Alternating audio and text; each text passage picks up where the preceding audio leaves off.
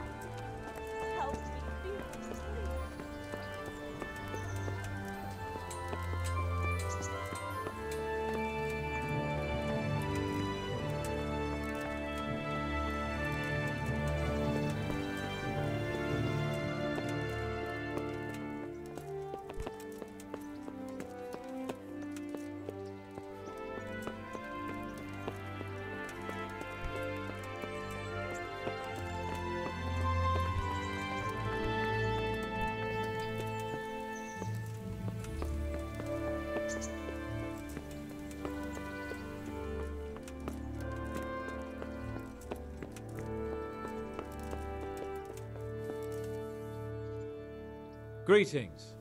What do you need? I've got that necklace. Excellent news! I'm not going to ask you how you did it. Here's a reward for you. Now you can carry on with your next task. I want you to sneak the jewellery into Carolina's trunk along with this letter. Can't I just hand them to her? You cannot! Under no circumstances must she find out who sent them. Otherwise, the whole secret admirer ploy is fucked. Oh, and by the way, Henry, watch out for the butcher.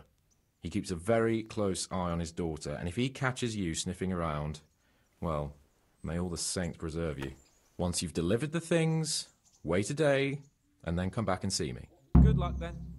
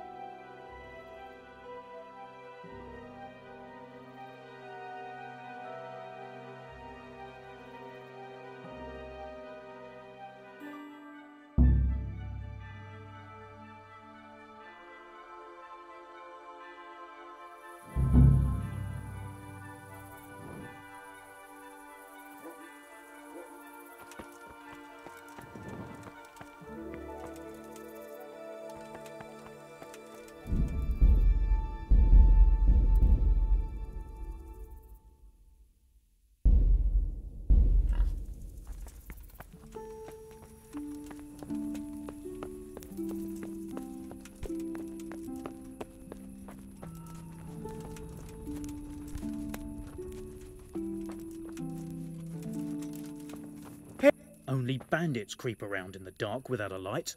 Where's your torch?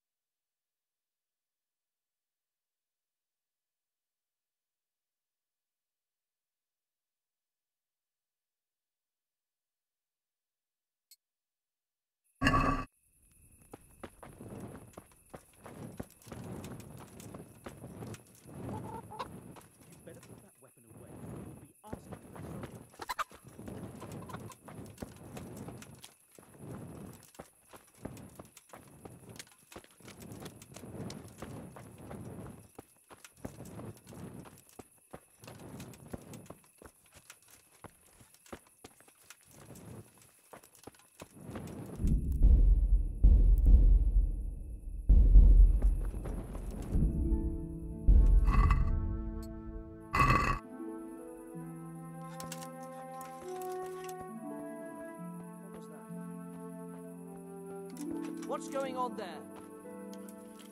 What's that?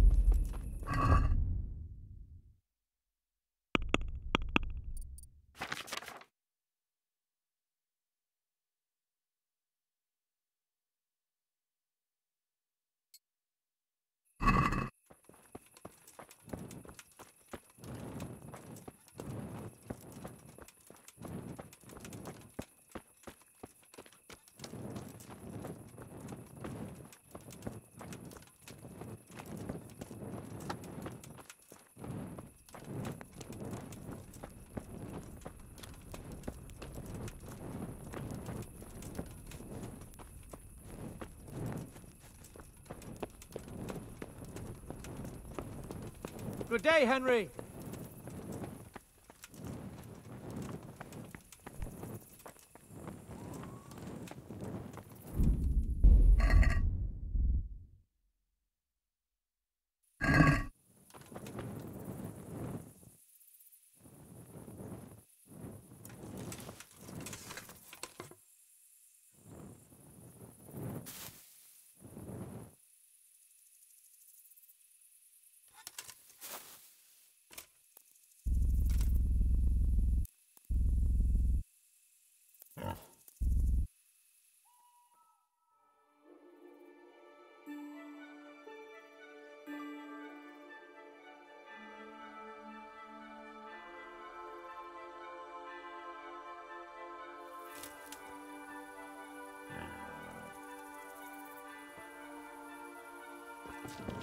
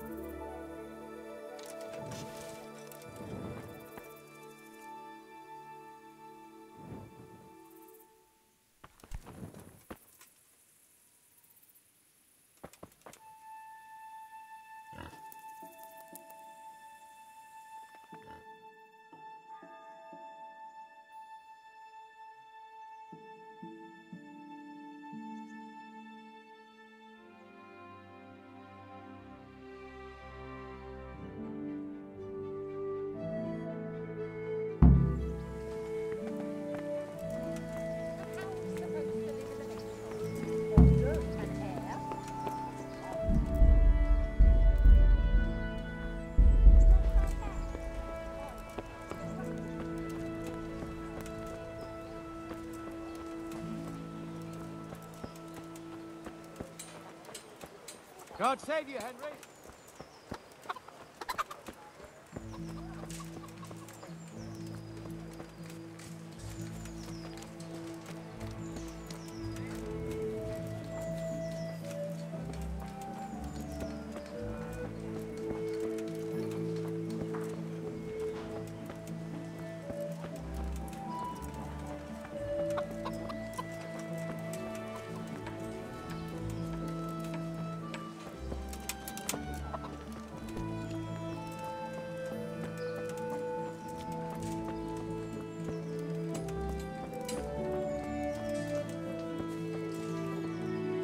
Greetings.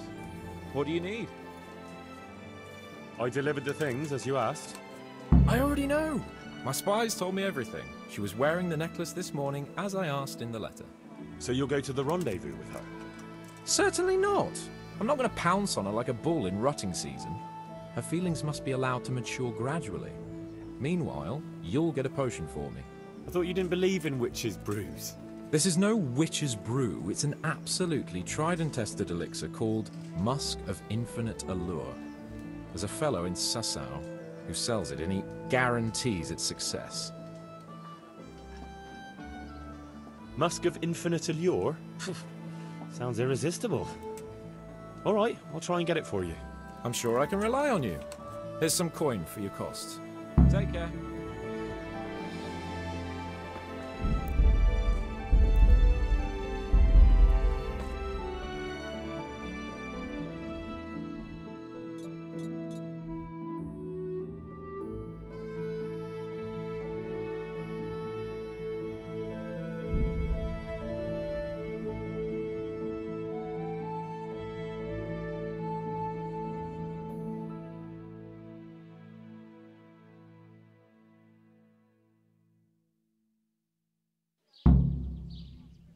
Has your manhood been wilting of late? Then buy this powder made of a unicorn's horn.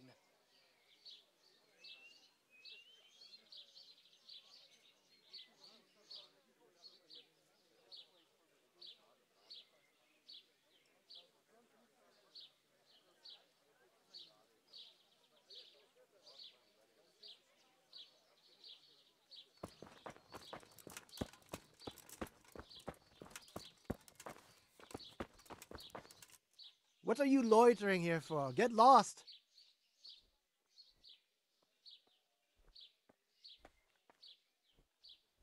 Well, well, who have we here? Ah, the prodigal son returns. I knew you'd come back to me one day. Let me guess. You saw it in a dream? I knew you were going to say that. But I had a divine revelation. That next time I won't be around to pull you out of the shit. Oh, well, I, I am sorry. Uh, but these things are sent to try our fortitude in the face of adversity. I'd like to try your fortitude. I've heard you know of some irresistibility potion or whatever it is. Ah, naturally, musk of infinite allure, an age-old recipe, maybe even older, tested by Moses himself. Moses? Or How do you think he managed to get his people to follow him through the desert for 40 years? It's extremely potent. Yeah, so it would seem. How much do you want for it? Who do you take me for? The wisdom of the ancients isn't something that's bought and sold in the marketplace. Did Jesus charge for his miracles? But since you ask, how about this much?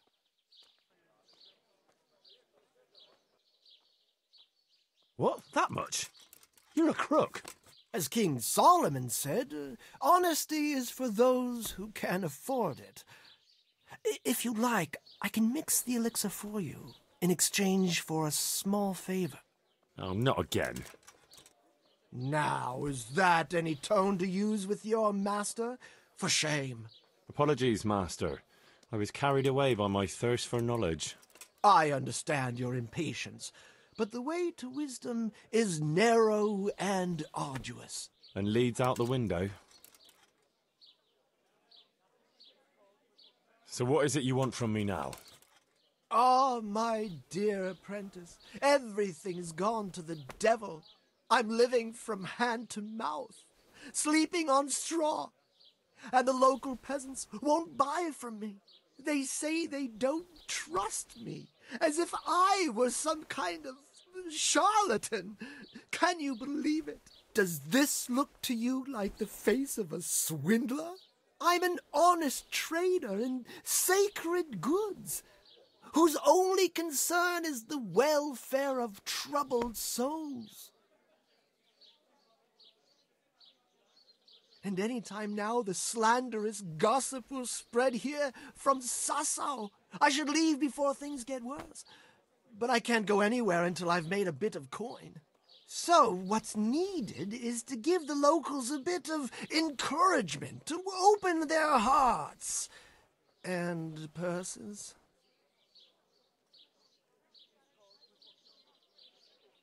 I'm not going to go around beating people for you. What do you take me for? I, I wouldn't hurt a fly. Violence is for the dull witted. We must gently demonstrate to them the necessity of buying my remedies. For example, to ward off a revenant. Revenant? What revenant? The dead return from the grave, a corpse that the soul is unable to depart from, which wanders among the living, filled with rage at its wretched fate. Yeah, I saw something like that once. But it was just some drunk going home from the tavern after losing all his money at dice. Don't make light of such things. Now tell me, do you know how to deal with a revenant?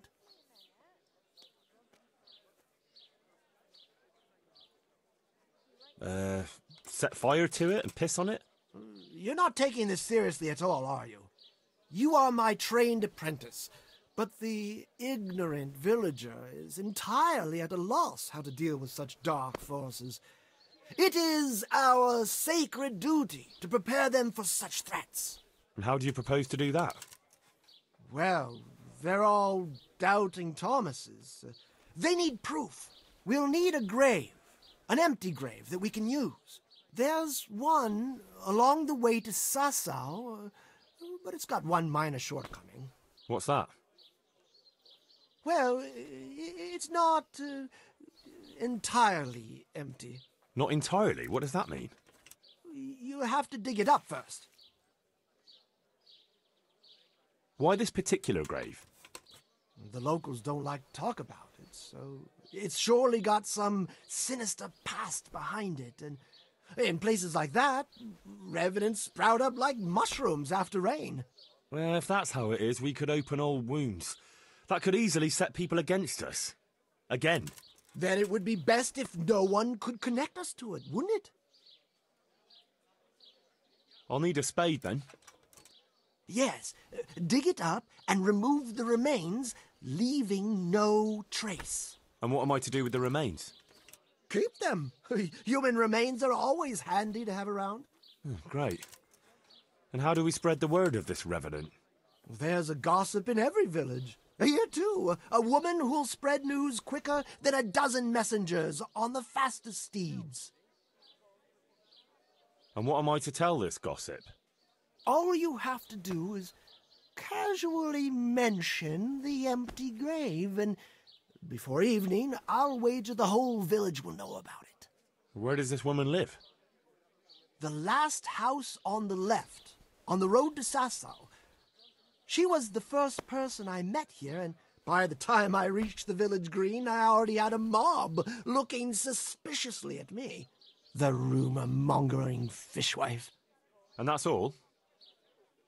Not quite. You should ask her who was buried there. So we've got a story to work with. So, dig up the grave, talk to the gossip. And the remains. Uh, don't forget to remove them. Otherwise, no one will believe in the Revenant. I might have known any task for Capon would turn into some insane escapade. Grave robbing. Jesus.